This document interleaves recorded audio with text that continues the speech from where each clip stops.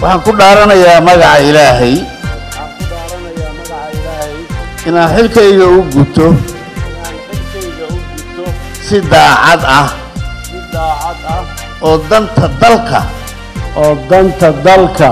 Dadka iyo diinta ku jirto. Dadka iyo diinta ku jirto. Dhowrana dastuurka qaranka. Dhowrana dastuurka qaranka. Iyo shuruucda kale ee dalka u yaalla iyo shuruucda kale ee dalka u yaalla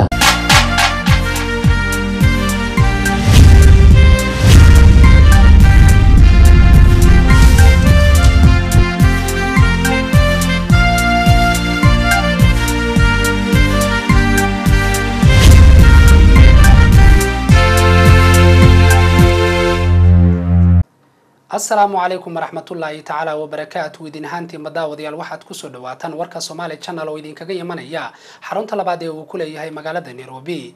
Warkana waxa uu diyaaray inuu idila socodsiiyo anigoo ah axmed isaaq cabdi axmed laqaaye.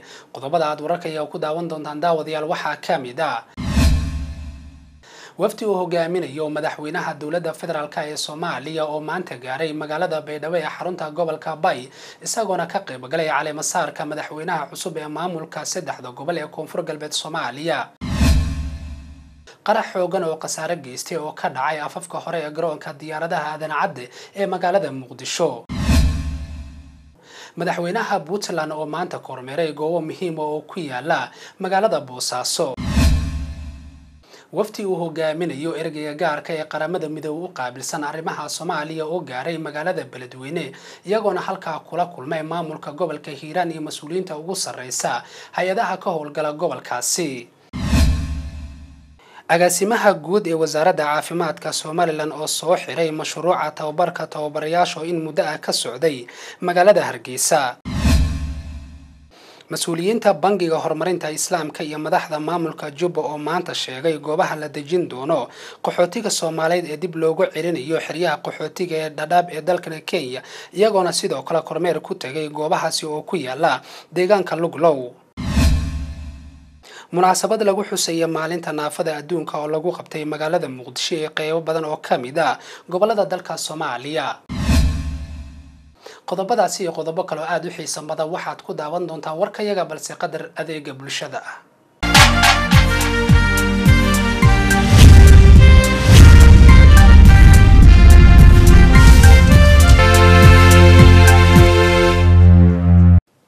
wafdi uu hogaaminayo madaxweynaha dowladda federaalk ee soomaaliya mudane xasan sheekh maxamuud ayaa maanta gaaray. Magaalada baydhabo ee xarunta gobolka bay isagoona ka qeybgalay caleemasaarka madaxweynaha maamulka saddexda gobol ee koonfur galbeed soomaaliya. Sida faahfaahinta warkaani uu inoogu hayo wariyahayaga cabdiqaadir axmed mayow caleemasaarka madaxweynaha maamul goboleedka koonfur galbeed soomaaliya oo maanta ka dhacay magaalada baydhabo ee xarunta gobolka baay waxaa ka soo qaybgalay madaxweynaha dowladda federaalk soomaaliya xasan sheekh maxamuud. Madaxweyne ku-xigeenka maamulka jubbaland iyo wasiiro ka socda xildhibaano maamulka puntland oo horkacayay. Wasiirka warfaafinta ee maamulkaasi puntland cabdiweli waxaana ay sheegeen in maamulkan ay ku faraxsan yihiin ka soo qaybgalka caleemasaarka ee ka dhacay magaalada baydhabo ee xarunta gobolka baay. Ugu horeyn markii ay soo gaareen garoonka gegada diyuuradaha ee magaalada baydhabo waxa ay soo gaareen holka shirarka ee taliska qaybta lixdanaad baay bakool iyo gedo. Iyagu waxa ay sheegeen inay ku faraxsan yihiin caleemasaarka maanta lagu caleemasaarayay madaxweynaha maamulka koonfur galbeed shariif xasan sheekh aadan communitiga beesha kala socota ee hadday yihiin kuwa gaargaar wadanadooda uga yimid sida turkiya sida ethoobiya iyo labadaas ay noqotay intii kale sweden german marka in alla intii wadanadooda ka wakiil oo maantalka noogu soo booday noo yimid oo safiraha si gaara xushmad bay nooga madayiin waan salaamaya waxaan kaloo salaamayaa wakiilada african unionka waxaan salaamayaa wakiilada igad waxaan salaamayaa wakiilka jaamacadda carabta waxaan salaamayaa laakiin waxaad moodaa xeendaabiya kala wadoodanaya war xeendaabyada iyo derbiyada hala jabshaa la isu furo soomaalidu waa hal qoys waa soo daashay dowlad bay rabtaa xoog leh waxay rabtaa sharafka kalaamada inay soo ceshato meesha caalamkana waxaan u baadayaa iyada inay garab mudane madaxweyne aniga war uma istaagin hadal badanna meeshan kuma lihi keliya waxaan u istaagay inaan dhowr kelmadood hortaada ka xuso iyaga oo muxuu ahay ummadda oo dhan koonfur galbeed iyo muxuu ahay beesha caalamka iyo soomaalida oo dhan iyo mas'uuliyiinta qaranka kale ee joogta. Hortooda inaan ka sheego dhowr kelmadood oo muxuu ahay runtii muhiim ah oo aan ku xaqiijinayo munaasabadan maanta aan joogno ilaahay subxaana wa tacaala baa ku mahadsan. Mahaddiisa isaga ayaa noo suurtogeliyey ka soke madaxweyne xasan sheekh maxamuud hogaamintiisa iyo muxuu ahay tusaalihiisa ayaan ku dhimay madaxweynaha maamulka koonfur galbeed soomaaliya shariif xasan sheekh aadan waxa uu sheegay in uu u baahan yahay in lala shaqeeyo uusan shaqayn karin keligiisa waxaan ilaahay hortiisa iyo hortiinaba aan ku ballan qaadaa wax allaale wixii dadaala maamulkan inta laga dhisay inuu sameeyo sidii ummadda u midayn lahaa oo nabadda u samayn lahaa. Dowladda federaalkana oo ugula shaqayn lahaa. Dowladda federaalka aad aad ugu mahadcelinayna madaxweynaha ugu horeeyo oo guddoomiyaha baarlamaanka ku xigo ra'iisul wasaaraha iyo wasiirada iyo baarlamaanka oo dhan runtii dadaalkii iyo ogolaashihii ay ogolaadeen in maamulkan la dhiso runtii aadaan ugu mahadcelinayna mahad ilaahay iska leh haddaysan ayaga ogolaan lahayn ma dhismi lahayn runtii aad aad ay ku mahadsiyiin dadweynaha saddexdan gobol degana aad iyo aadaan ugu mahadcelinaynaa waxaana ka codsanaynaa inay nala shaqeeyaan wixii aan ku qabtan lahayna ay naga toosiyaan aniga maanta kulley khudbad dheerna laygama sugaayo khudbad isku tootoosanoo badana laygama sugaayo sabab kastaa ku noqota idinku aad ayaan ku mahadsan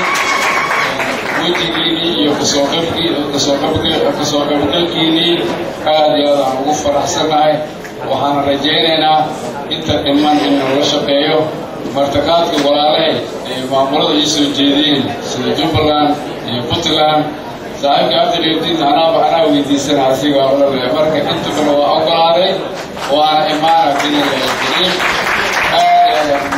ugu dambeyntii waxaa goobta shirka ka hadlay madaxweynaha dowladda federaalk soomaaliya brofesor xasan sheekh maxamuud. Waxa uu sheegay in wasiirada iyo xildhibaanada la soo dhisayo inay noqdaan kuwa waxgal u ah islamarkaana leh aqoon buuxda.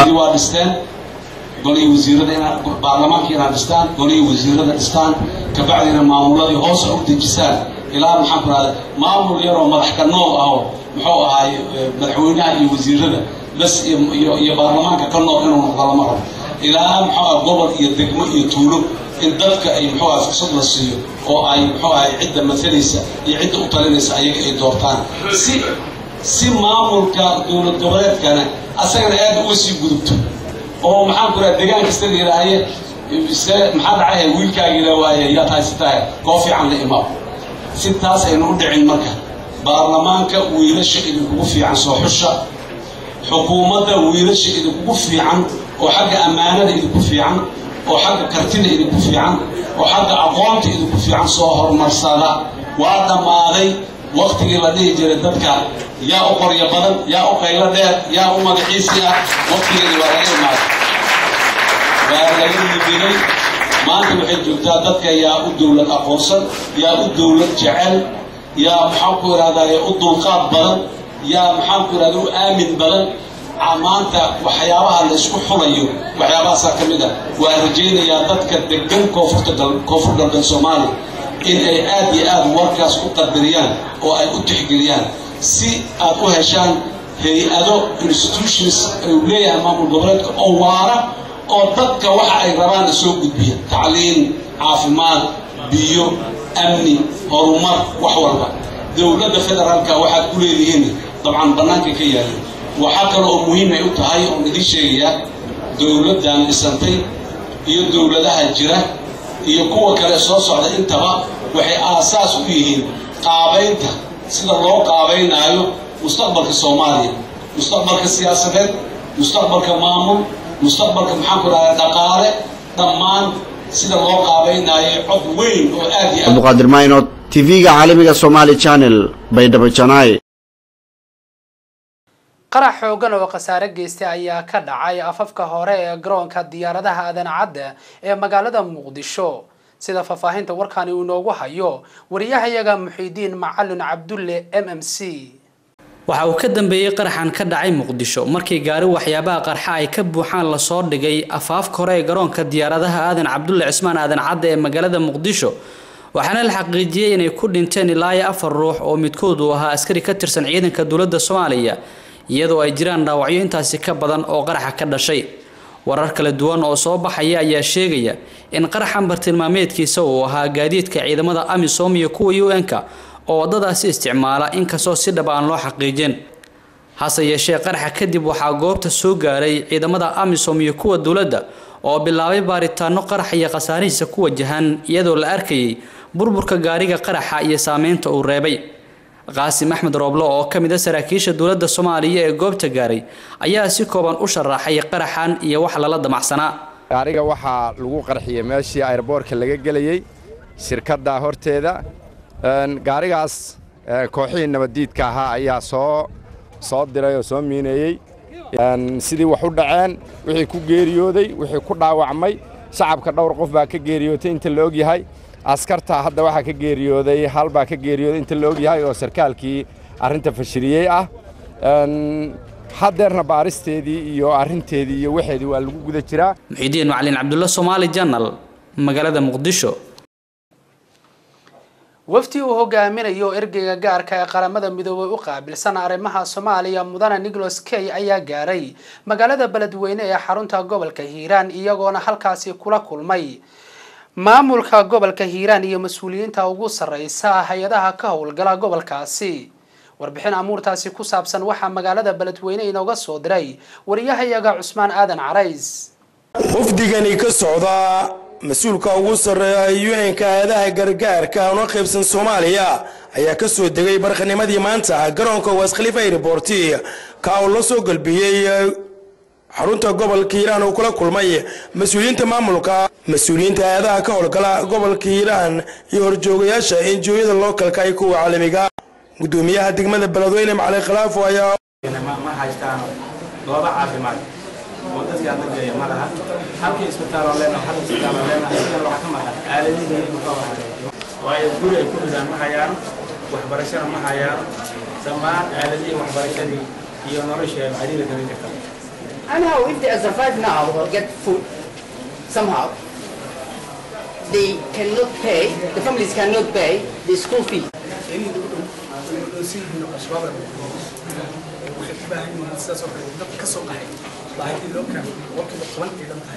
sidaasoo kale dadkii kale waxay u baahan yihiin garoomadaas oo muhiimkaas garoomadu waxaa dejin karo oo wax loogu qaban karo dhinacyada sidaasoo kale tuulada aad u jecel dadka reeriga waxaan rajayna ayada sidaasoo kale qiimaha bulshada kala qayb qaataan sidii u tababari lahaayeen waxyaabo sidoo kale sarkaalka un-ka u qaabilsan which means again in the country more than 3 million Somali in need of assistance, or life saving or livelihood assistance. I have also told, and you might know, that uh, unfortunately in 2014 there have been multiple crises all over the world. And obviously, the overall contribution has not sida looga baahan yahay waxqabad buuxa inay un-ka la yimaadaan ismaan aadan carays tv-ga caalamiga somali journal beledweyn dibadbax nabadeed oo uu soo qabanqaabiyey maamulka ximina xeeb oo ka dhacay magaalada cadaade ee xarunta maamulkaasi. Warbixin amuurtaasi ku saabsan waxaa inoo diyaariyey wariyahayaga cabdifataax axmed cali shiine dibadbaxan oo lagu taageeraya nabadda loogana soo horjeedo dagaalo dhowaan ka dhacay deegaano ka tirsan gobolka mudug islamarkaana uu soo qabanqaabiyey maamulka ximani xeeb ee ka arrimiya qaybo ka mida gobollada dhexe ee soomaaliya. Ayaa maanta ka dhacay magaalada cadaado ee xarunta maamulka ximani xeeb. Dibadbaxayaasha oo ay hogaaminayeen mas'uuliyiin ka tirsan maamulka ximani xeeb ayaa socod ku soo maray xaafadaha kala duwan ee magaalada cadaado iyadoo inta dibadbaxa uu socday qaar ka mida nabadoonnada iyo waxgaradka ka qayb qaadanaya dibadbaxa ay la hadleen warbaahinta iyo dibadbaxayaasha waxaan gaadhsiinaynaa dadweynaha u sheegaynaa walaalaha walaalayaalo dagaal waxa uu leeyahay waa la yaqaan walaalayaalo ha la joojiyo. Dagaalka ha la joojiyo. Ku magaca odayaasha dhaqanka waxaan u diraynaa muxuaha baaq u diraynaa walaalaheenna u dagaalamaya dagaalka ahliga oo wuxuusho balxumada beesha xillebi iyo maarata deegaankaas. Baaq nabadadaan u diraynaa waxaan siduu yahay ninka uu yidhi dadaan hadal ka yeelaynin oo yuu yihiyo yuu ka yahay keliya yeerayso oon yaasiinshihiisiya aqoon kii wax ugu yaalay dad yooyootan hoosiya khilaaf jeer la kala yaacay oo dhex yuururaan kuma yaxaas yaab ma hurayaane yaab yaabanay yaad la sugi yaabka ka hor yaalla wasiirka arrimaha bulshada maamulka ximan iyo xeeb cumar maxamed diiriye cumar guureeye iyo gudoomiyaha baarlamaanka maamulka ximan iyo xeeb cabdulaahi faarax sandheere ayaa ugu dambeyn madasha dibadbaxa ka hadlay.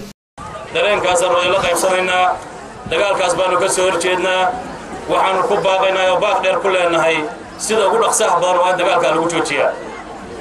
Wakhtigiisa lama joogo maantay waxaa la joogaa xilligii gobollada dhexe ay horumarkoodii ka shaqayn lahaayeen iyo maamuladoodii isay maamul samaysan lahaayeen. Dhammaan soomaaliya oo dhan dagaal wuu ka aruuray. Dagaal waxa uu yahay waa la soo arkay. Aad iyo aad baanu dagaalkaas uga xunnahay.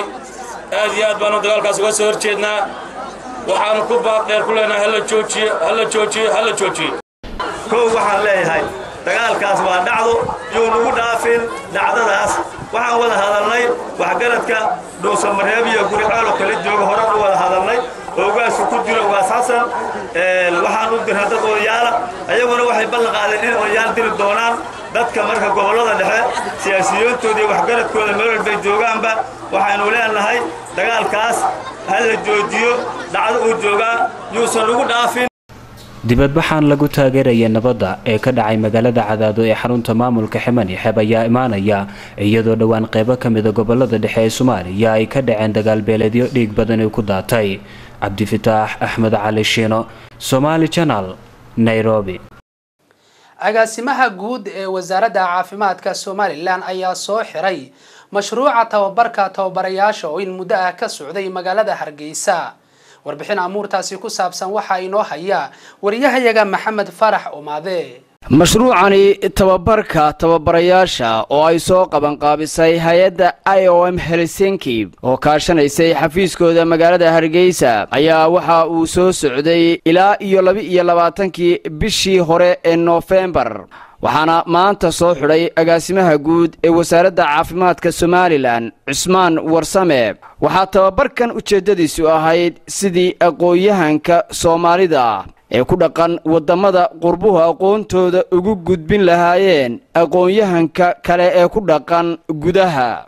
Saciid guuleed oo ka socday hay'adda i o m xafiiskeeda helsinki ayaa sharaxaya tababarkani intii uu soo socday cidda dhaqaalihiisa bixinaysay iyo faa'iidada uu leeyahay. Tababarka tababarayaasha ee labadii asbuuca u dambeysay ka socday hotel mansoor ee hargeysa waa mid ay isku soo duba riday hay'adda i o m helsinki oo markaaskeeda hargeysa i o m hargeysa. Waxaa annaguna sharaf noo ah in mashruucii iyo iyo iyo hay'addiiba ay maanta halkan ku soo gebagabeynayaan tababarkii laydinku talagalay. Sida aad la socotaana mashruucan oo laga soo bilaabo kii ka socday waddanka waxaa fangareeya ama maalgeliya dowladda finland oo aan runtii aad iyo aad uga mahad celinayno contributionka ay ku bixisay sidii loo taageeri lahaa kobcinta caafimaadka soomaaliya. Taas marka waxay u tahay guul. Dadka aqoon-yahanada oad ka mid tihiin oo idinku si volunteer aad ugu soo guntateen hawshaas iyo hay'addii facilitate garaysay iyo dowladdii finland oo iyaduna ahayd backupkii amaba hay'addii lacagaynaysa aad baan idinka mahad celinayaa doctor aleni milan iyo cabdirisaaq maxamed oo ah khuburadii tababarkani bixinayey ayaa geestooda dardaaran u soo jeediyey aqoon-yahankii ka faa'iidaystay tababarkani house norms, we have this and that, and it has been fun to learn. And this is how it should be. Learning should be always fun and, and nice thing to do. And I want to thank you so much for these, these 10 days. Have been wonderful and no more. waxaan filayaa in shahaadooyinka aad halkan ka qaadateen ay noqdaan kuwo dhaxalgal ah oo kordhiya expertigiina kordhiya siina wada waxyaalaha halkan aan ku barateen. Intaas ayaan ku soo gebagabaynaya wasalaamu calaykum waraxmatullahi agaasimaha guud ee wasaaradda caafimaadka somalilan cusmaan warsame ayaa ugu dambayntii shahaadooyin guddoonsiiyey ka soo qaybgalayaashii tababarkani. Waxaanu sidoo kale agaasimuhu mahadnaq ballaadhan u soo jeediyey hay'adda i o m iyo dowladda fiinland oo iyadu bixinaysay dhaqaalihii ku baxayay tababarkani idinkoo markaa dhakhaatiir markii hore ahaan iminkan aad wacyigelintii managementkiina componentka laydinku daray runtii waxaad noqonaysaan tools haddaan isticmaalo ereyga dadka soo hiimintiin aad iyo aad u muhiima marka runtii waan soo dhaweynayaa waxaan idin rajeynaya insha allah inaynu wada shaqayn doono gacmo furan ciddii sii joogaysana ha sii joogto ciddii kale noqonaysana. Anagu maanta jeer waxaan u diyaarnaa inaan soo dhaweyno. Ciddii halkan ka shaqaynaysa iyo ciddii laabanaysaba intaba waan soo dhaweynaya wasalaamu calaykum waraxmatullahi barakatu maxamed faarax cumaade somaali channel hargeysa. Munaasabad lagu xusayo maalinta naafada adduunka ayaa lagu qabtay magaalada muqdisho ee xarunta dalka soomaaliya. Sida mar kale uu ku soo waramayo wariyahayaga muxiidiin macalin cabdulle m m c. Munaasabadan oo lagu xusayay maalinta naafada adduunka oo sanad waliba laga xuso caalamka islamarkaana ay soo qabanqaabisay hay'adda awoodsiinta naafada soomaaliyeed ee sudan oo kaashanaysa ururo kale ayaa waxaa ka soo qaybgalay xubno ka socday xafiiska ra'iisul wasaaraha ururada bulshada rayidka ee naafada iyo marti sharaf kale iyadoo munaasabadaasi khadka taleefonka ay uga qayb galeen ra'iisul wasaaraha xukuumadda federaalka ah ee soomaaliya cabduuli sheekh axmed iyo marwada madaxweynaha dowladda soomaaliya.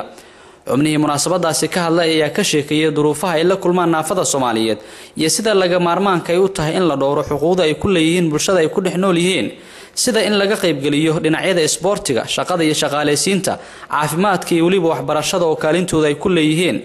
Nolosha caadiga ah oo bulshada soomaaliyeed kaa fiirisid dadka naafada ah rool qayb kuma mana lagu talagalo.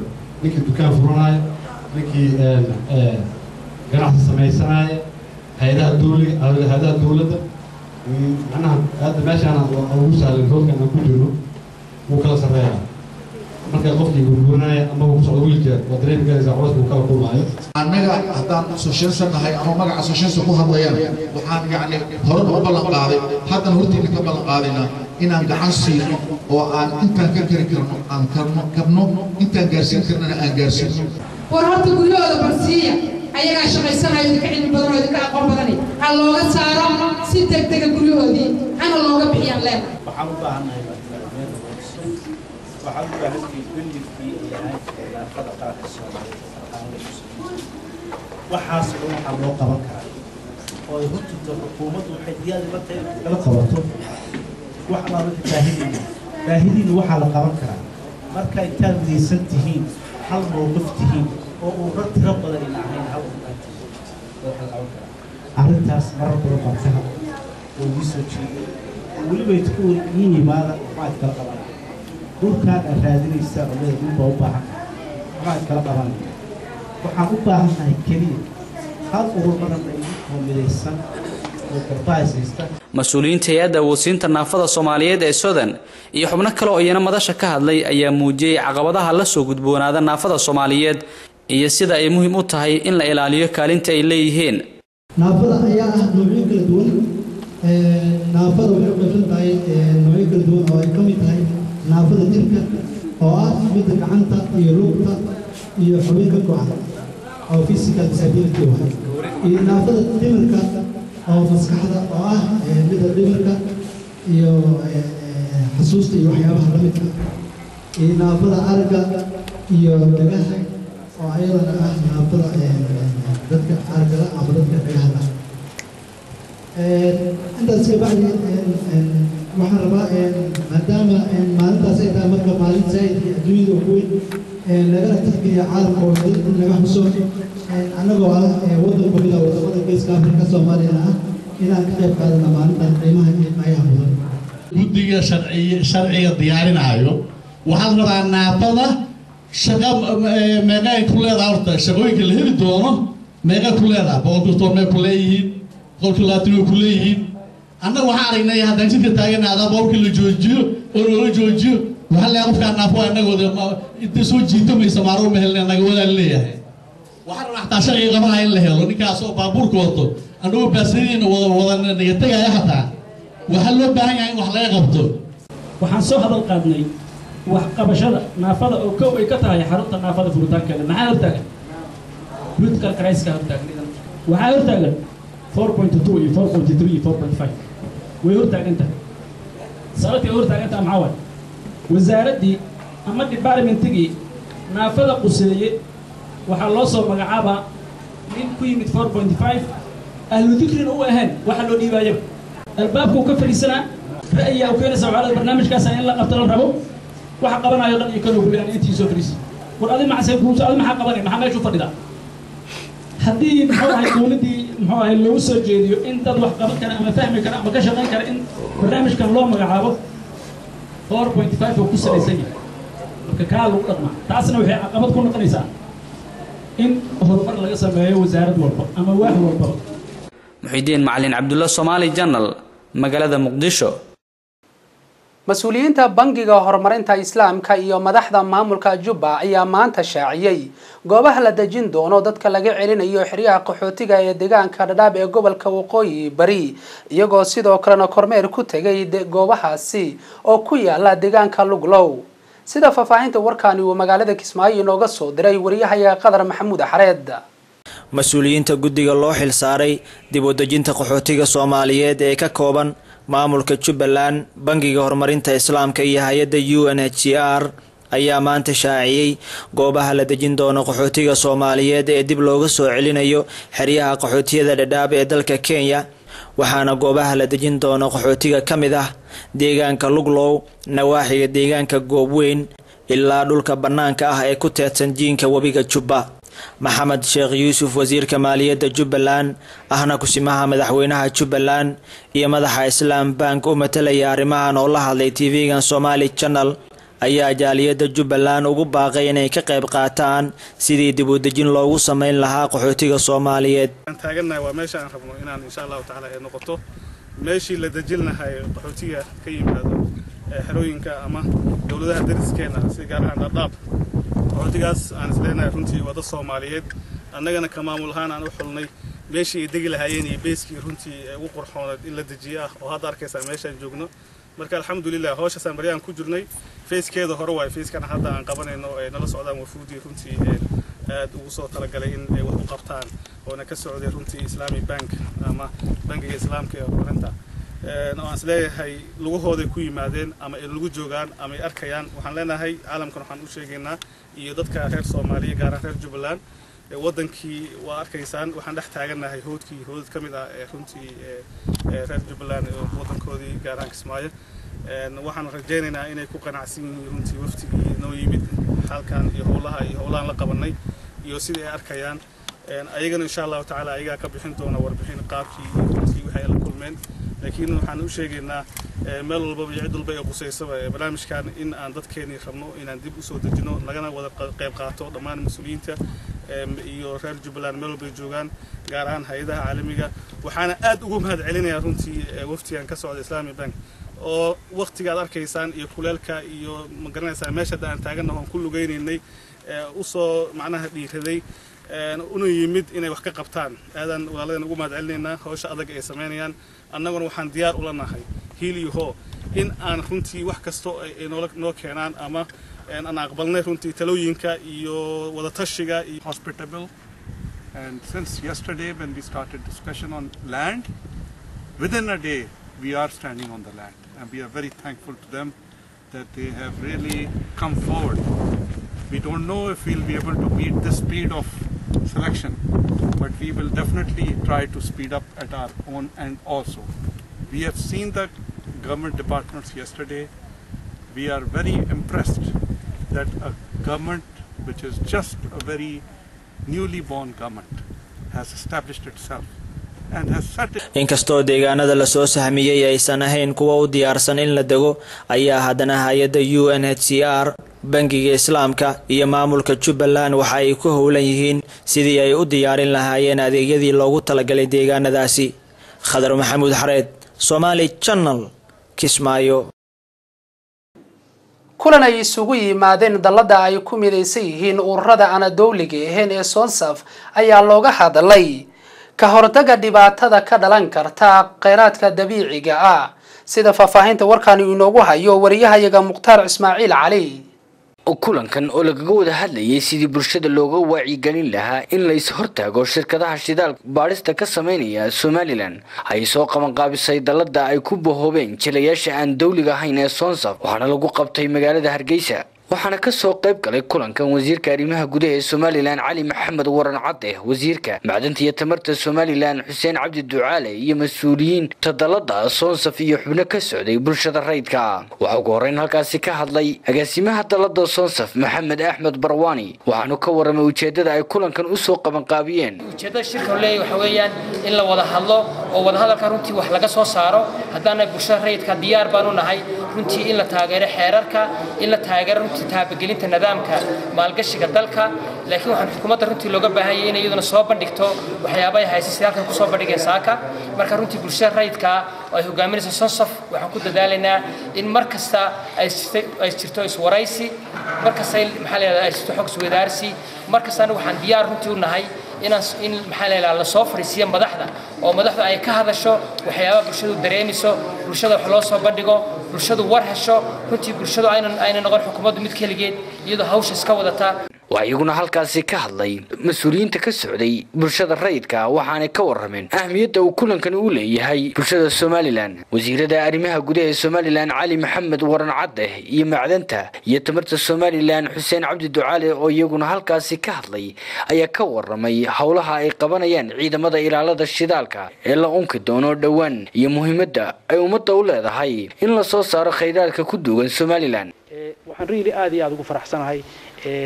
shirweynahan maanta ay soonsaf qabatay oo aad iyo aad iyo aad loogu baahnaa oo really misinformation ama khalad fahamsiin badani ay ku jirtay waxaan la yidhaha extractive sectorka la yidhaaho oo dadka laga dhaadhiciyey in aanu maalinka maanta shir dadkii matalayay mugta shicibka matalayay ay halka maanta nala fadhiyaan oo su'aalo badan aanu ka jawaabi karro oo aan wax ka ay wax naga weydiiyaan oo aanu u iftiimin karro waxyaabo badan oo si khalada loo turjumay waanu doonayna markaa iyaguna bulshada markay mogta yani macluumaadka saxa ay helaan ay naga helaan inay insha allah u gudbiyaan wada shaqayn fiicanna magaranaysa inaanu magaranaysa ku talagallo inaanu ay naga dhaxayso muxuu ahaa hay'adaha caynkaasa ee sonsof ay ka mid tahay inaanu si joogtayna ugu sheegno arrimuhu halkay marayaan iyaguna sidaa la ajrigeed ay u wacyigeliyaan dadweynaha iyo shicibka u wacyigeliyaan oo ay waxu sheegaan waxay leeyihiin dowladaha qaarkood international community wuxuu khatar gelinayaa o b u dowladda soomaaliya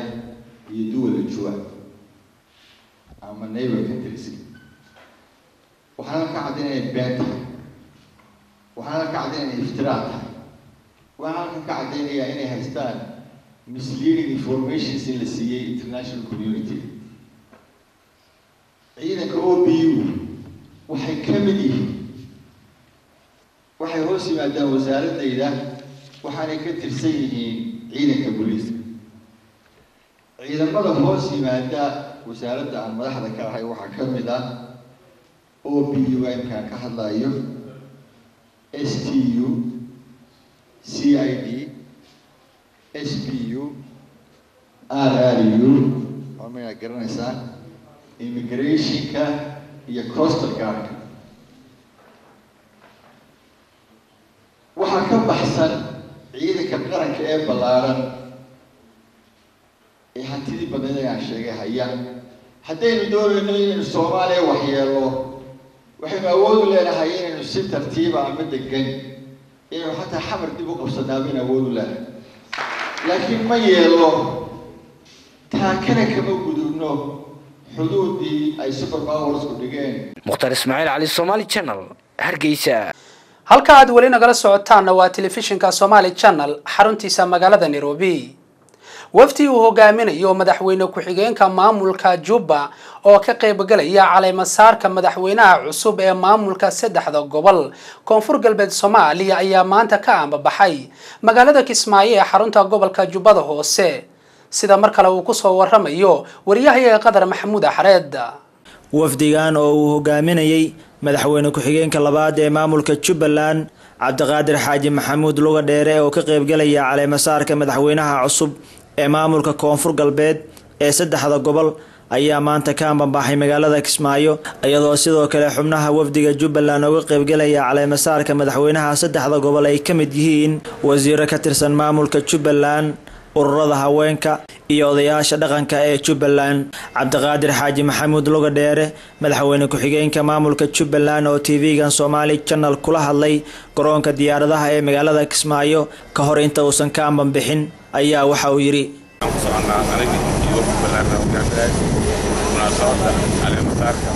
Madaxweynaha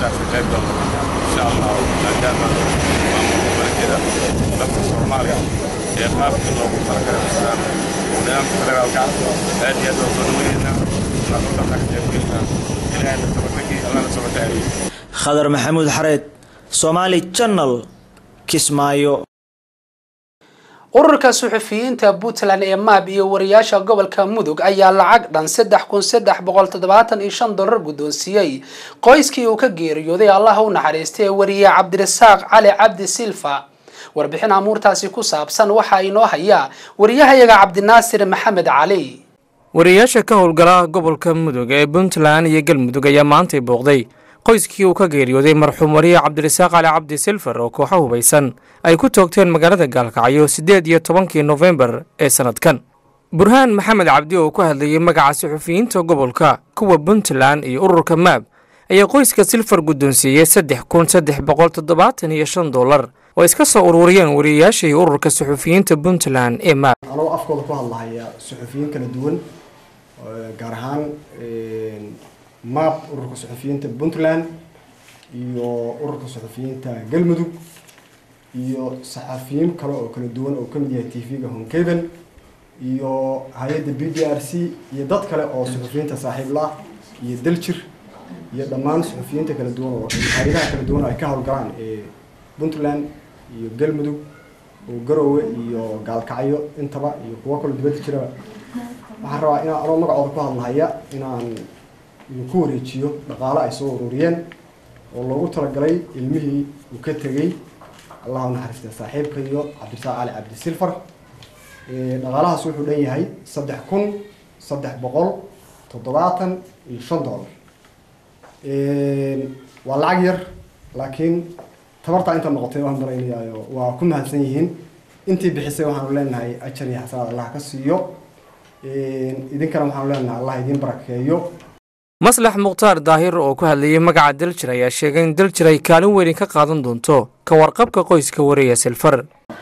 Anoo ku hadlayay magaca radio daljirna dhaqaalahan hadda la keenayna waxwaa ka bixisay radio daljir sidoo kalena waxay ballan qaaday in qoyska ay ogaan doonto oo insha allah waxa lacagtii mataqaana mishaar ahaan u qaadan jiray oo daljir ay sheegtay in sidii uu socon doono. Sidoo kale waxaa goobta ka hadashay faadumo axmed gaashaan oo ka mid ahayd guddigii lacagaha soo aruuriyey waxaanu isku daynay inaanu ururino. Wixii tabarta wariyaasha ah. Dal iyo dibad baanu la xiriirnay iyo kuwa runta iyagu raadinayay wanaagga cabdirasaaqna jeclaa oo iyagu inay ka qayb galaan danaynayay nalana soo xiriirayay laftirkooda. Lacagtaas qiimaheeda koley waxaa sheegay walaalkii burhaan wariyaashii runtii la baxay waxay u noqonaysaa sadaqo ilaahay ajar iyo xasanada la soo koobi karan ka siiyo siiyo. Ilaa iyo hadda ma jiro cid loo hayo dilkii loo geystay wariye cabdirasaaq cali cabdi silfar oo kooxa hubaysan ay siddeed iyo tobankii bishii hore ay ku toogteen magaalada gaalkacyo cabdinaasir maxamed cali somaali janaal gaalkacyo wasaaradda waxbarashada puntland ayaa munaasabad sagootina u qabatay konton arday oo deeq waxbarashaha ka heshay dalka ethoobiya sida faahfaahinta warkan ay inoogu eegayso wariyahayaga maymuun cabdirasaaq aliif munaasibadan sagootinta ardayda oo lagu qabtay wasaaradda waxbarashada puntland waxaa ka soo qayb galay.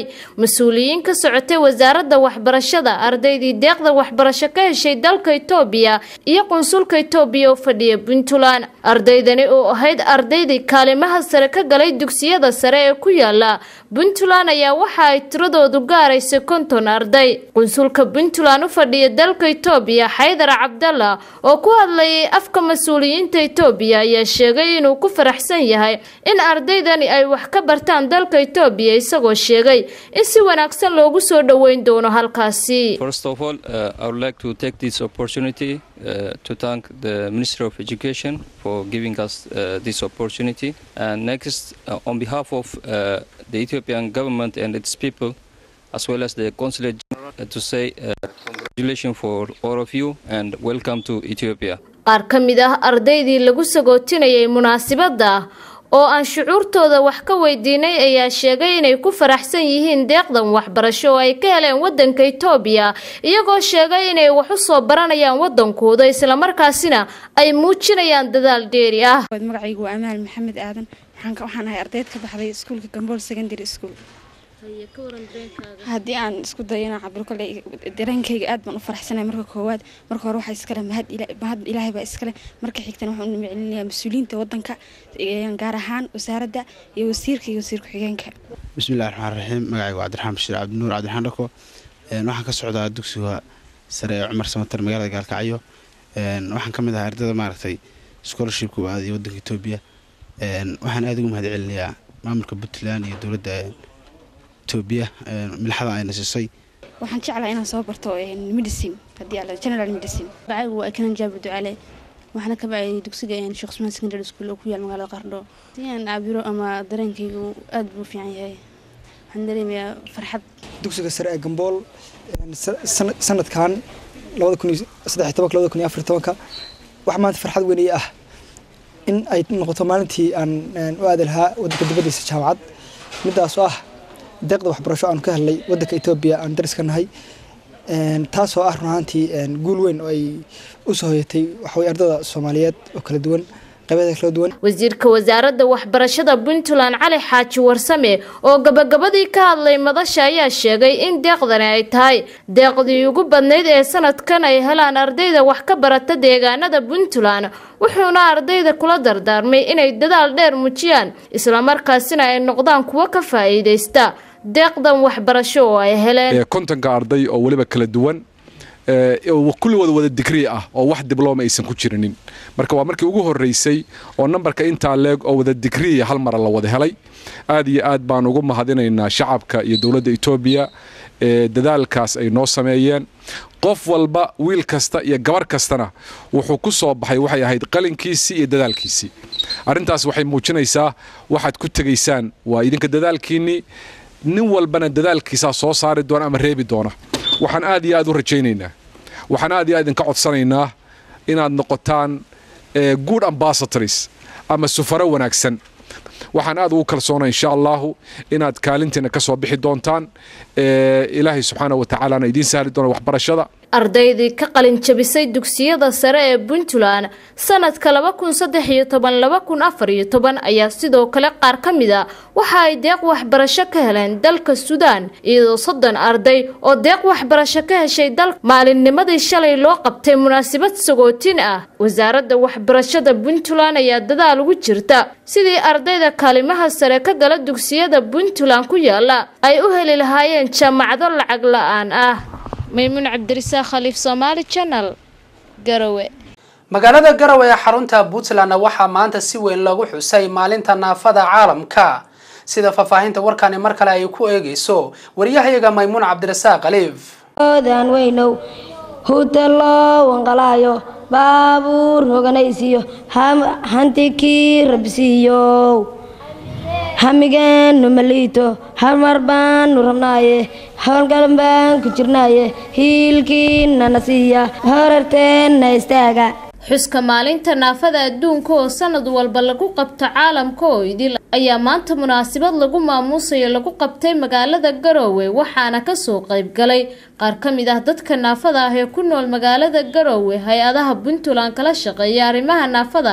Dalada naafada puntland u qaabilsan maamulka gobolka wasiirka wasaaradda shaqada iyo shaqaalaha wasiirka haweenka puntland iyo wasiir ku-xigeenno mid ka mid ah dadkii naafada ahaa ee ka soo qayb galay madasha ayaa sheegay inay jiraan hay'ado xambaarsan magacooda oo wax ku qaata balse aan waxba u qabanin wuxuuna dowladda ka codsaday inay daryeel siiso dadka naafada ah ee ku nool puntland. Annagu weli waxtar dowladna kama hayno hay'addana kama hayno. Waa jirtaa hay'ada anaga magacyaga xambaarsan. Hase hade way isgaranayaa nin waa magacyaga xambaarsan gudoomiyaha dalada dadka naafada ah ee puntland cali cabdi aadan oo madasha ka hadlay ayaa ka warbixiyey ujeedka loo aasaasay dalada iyo waxyaabihii ay qabatay muddadii ay jirtay. Dadka halkaa fadhiya waa dhagoolayaal indhoolayaal iyo dad naafo ah fisikaal ah. Intaasi waa intii gobolka nugaal joogtay toban meelood marka loo qaybiyo qayb ka mid ah.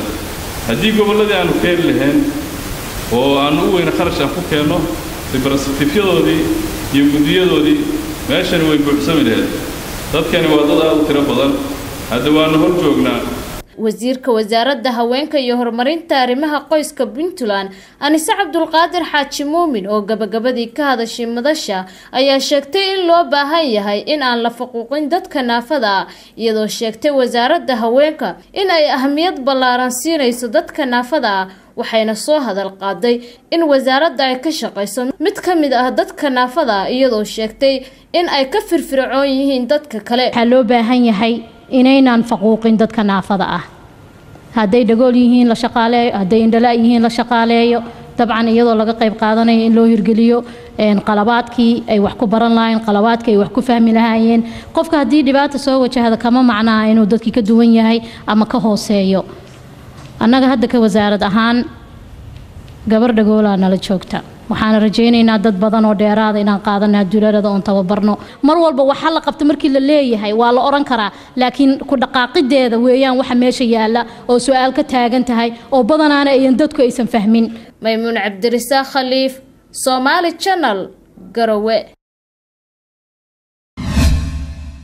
madaxweyne ku-xigeenka maamulka khaatimo iyo qaar ka mid a golayaasha maamulka khaatimo oo iga horeeyaan golaha dhaqanka ee khaatimo ayaa maanta fagaaraha weyn ee ku yaalla magaalada buuhoodle waxay kala hadleen shacabka ku dhaqan buuhoodle iyagoo ka warbixiyey socdaalkii ay ku tageen golaha dhaqanka ee khaatimo iyo madaxweyne ku-xigeenkuba magaalada muqdisho ee caasimada wadanka soomaaliya.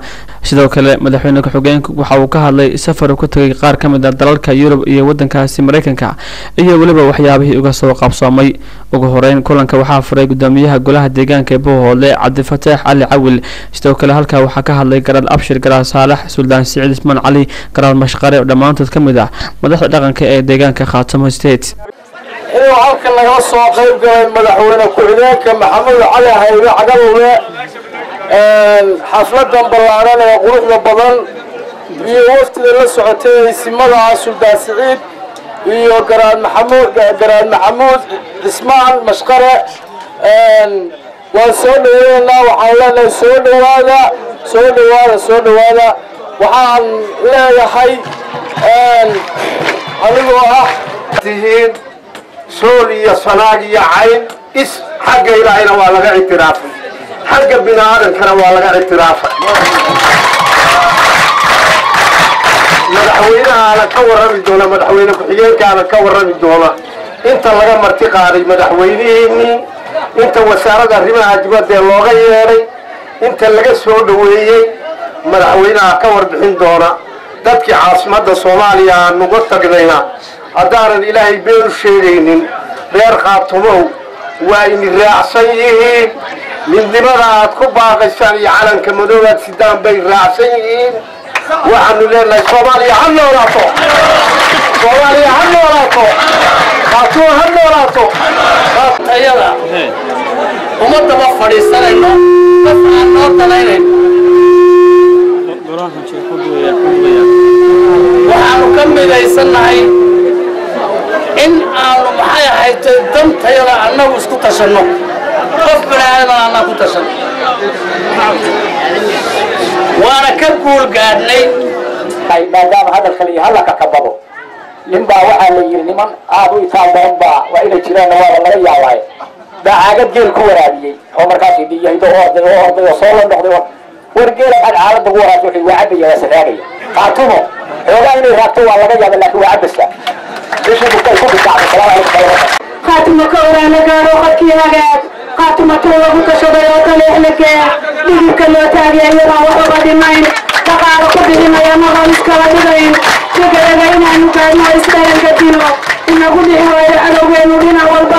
madaxweyne ku-xigeenka maamulka khaatimo cabdille maxamuud haybe ayaa intaa kadib isna halkaasi ka hadlay.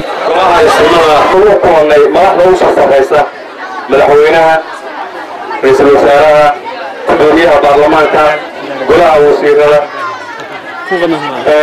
international community-ga xarumihiisu ay xamal ku yaalliin dhammaanba waxay isku raacsan yihiin maamulka khaatumo inuu yahay maamul jira oo hoos yimaada dowladda federaalka soomaaliya oo dhammaystiran. Waxaa jira nidaam ka socda soomaaliya oo liidii la yidhaahdo oo ku salaysan siddeed iyo tobankii gool ee soomaaliya ay lahaan jirtay waktigii burburka aynu ka mid nahay kuwa loo aqoonsan yahay inay maamul goboleed yihiin wixii xuquuqaha ay leeyihiinna ay ka qaadan doonaan waxaa markii ugu horeysay aanu tagnay magaalada muqdisho aanu ka helnay warqad aqoonsiya ra'iisul wasaaraha dowladda federaalka soomaaliya cabdiweli warqadaasoo si buuxda ugu qoray inuu gudbiyey dhammaanba international community-ga iyo hay'adaha arrimaha soomaaliya ku shuqulle annaguna aanu koobiya ka haysanno taas waa aqoonsigii oo buuxa oo dowladda federaalka aanu ka helnay waxaa kaloo jira khaasatan degmada buuqoonle iyo degmada taleex oo laga samayn doono. Oo ah sideedda degmee ugu horreeya dalka oo mashaariicdaas laga fulin doono haddii allah loo bali ogolaado kulankan uu la yeeshay madaxweyne ku-xigeenka maamulka khaatimo bulshada ku dhaqan gobolka cayn ayaa gabagabadii waxaa ku soo dhammaaday jawi aada u wanaagsan.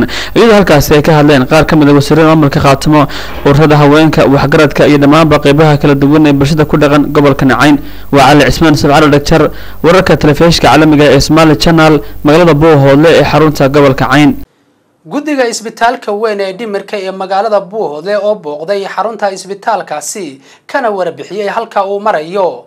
Warbixin amuurtaasi ku saabsan waxaa inoo haya wariyahayaga cali dhagjar guddiga gacanta ku haya cisbitaalka dhexe ee dhimirka ee buuhoodle ee dhismihiisu ka soconayo duleedka bari ee magaalada buuhoodle ayaa waxay ka hadleen halka dhismahaasoo haatan marayo.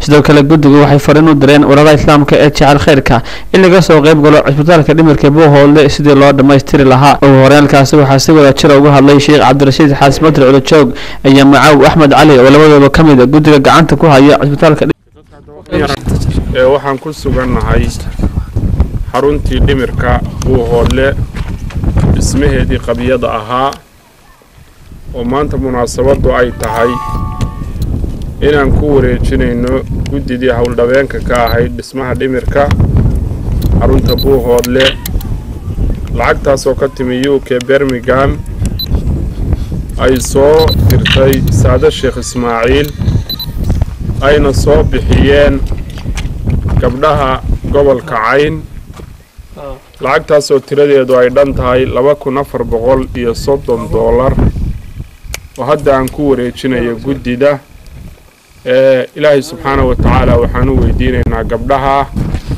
In ilaahay adduun iyo aakhire labadaba uu barakeeyo. Meesha ay ka soo bixiyeenna wax ka wanaagsan ilaahay ugu bedelo oo jannadu ay ugu horrayso. Ilaahayna waxaan u weydiinaynaa cid kasta oo soo dirtay gabdhaha reer london reer jaalada reer khaatumo. Kuwa bermigam iyo seynab xaaji cali oo kolley iyada lafteedu u k joogta. Dhammaantood ilaahay waxaan u weydiinaynaa rabbi subxaana wa tacaala ciddii soo ururisay iyo ciddii soo bixisayba in ilaahay ka abaalmariyo. Miisaanka xasanaadkana ugu daro rabbi subxaana wa tacaala. Meeshay ka soo saareenna wax ka khayr badan ilaahay u dabamariyo akhriya adduunba ilaahayna waxaan u weydiinaynaa rabbi subxaana wa tacaala adduunkana inuu wanaag kaga abaalmariyo aakhirana jannadiisa fardowsa kaga abaalmariyo cid kasta oo ka qayb qaadatay. Waxaan kaloo codsanaynaa dadka muxsiniinta ee muslimiinta ah walaalayaa waa aragtaan dadaan isku fillayn dadaan wax qabsan karayn dad xanuunsanaya baa meeshaa loo dhisayaa cid kasta oo wax ku darsatana ilaahay waxaan u weydiinaynaa rabbi subxana wa taala akhriya adduunba inuu wanaag kaga abaalmariyo. Dadkii cisbitaalkan aan ugu talagalnay dadka xanuunsanaya ka qayb qaatay ama ha horeeyaan ama ha dambeeyaan. Dhammaantood waa u mahad celinaynaa waana u ducaynaynaa waxaan leenahay jasakallaahu khayr. Ilaahay camalkiina kor ha u qaado allana haydi barakeeyo dhammaantiin. Maanta maalin aan ahayna waan rajaynaynaa in aad ku faa'iidi doontaan ribixiina intaa haddaan dhaafo cisbitaalkan haddaan idin xasuusiyo muddo badan buu qabyo ahaa intaana dee waan shaqadiisa waan haynay hadal kale ma hadhin dee annaguna qabyaanu nahay cisbitaalkiina waa qabyo annaga lafteedii baa ku qabyownay marka dee walaal halayskaayo maaragtay hanala qabyo tiro insha allahu dadka xanuunsanaya oo dhibaatada qaba oo ah talogalkayagu uu yahay oo laga yaabo maalinaan maanta ahayn inaan aragno iyaga oo talagalkayagu wuxuu ahaa ama dadkaasi ay ay ka faa'iidaysanayaan inaan aragno. Waxaan codsanaynaa in cusbitaalkan la soo dhammaystiro oo loo dadaalo. Ah. Warkii oo kala socoteen telefishinka caalamiga ee Somali Channel xaruntiisa magaalada Nairobi. Haatan waa naga intaa warkana waxaa idila socodsiinayay anigoo Axmed Isaaq Cabdi Axmed Laqaaye tan intaynu hawada dib ugu kulmi doonaan iyo asxaabta igala qayb qaadataba waxaynu idin kaga tageynaa sidaa iyo nabadgelyo noole kulanti